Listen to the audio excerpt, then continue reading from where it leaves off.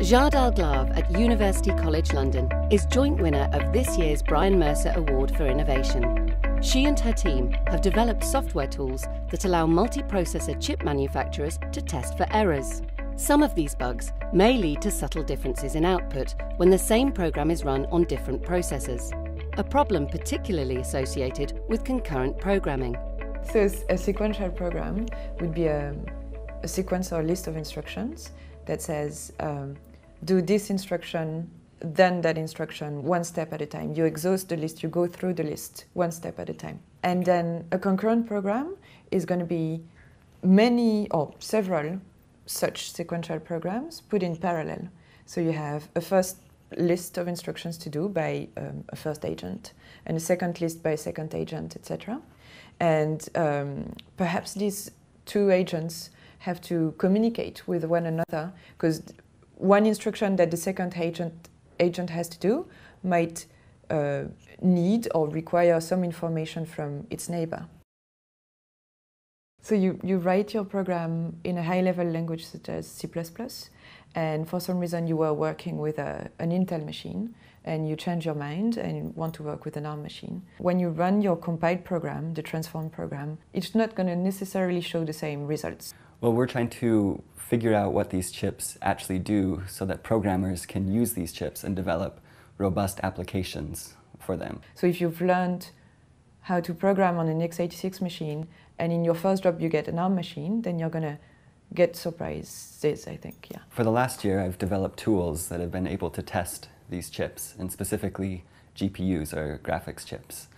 In many cases, we observed they weren't behaving as expected, and it led to some very interesting behaviors and um, surprising behaviors, and people who programmed these things many of them didn't know these sort of things were possible. And so we developed tools that would uh, generate tons of little tests to probe particular uh, bits of the machine. We pretty much hammer the chip with lots of, lots of work to do.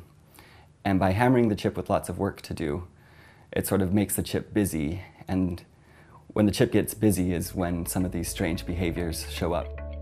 Okay, so here we have a pony that's been computed on a, on a CPU, so it looks fine, there's no flaw in it. But so to write the code that displays the pony, we used a particular algorithm that appears in an NVIDIA endorsed book. So NVIDIA is a, um, a chip vendor that produces GPUs. The CPU one is, say, an Intel machine or an ARM machine, whereas the other one was an NVIDIA machine. Here, so we computed the same pony again, but stressing the machine to make it exhibit the unexpected behavior that we're after and that we're trying to model.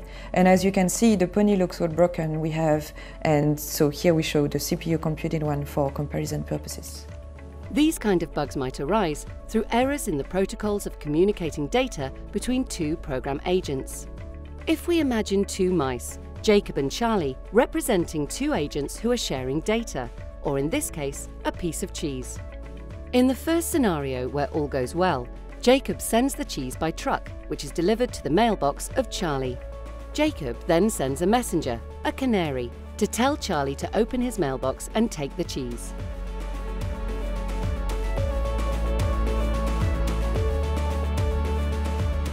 In the second case, Jacob again loads the cheese onto the truck, but this time the journey is much slower and the messenger canary arrives before the cheese has been delivered, and hence Charlie sees nothing when he opens his mailbox.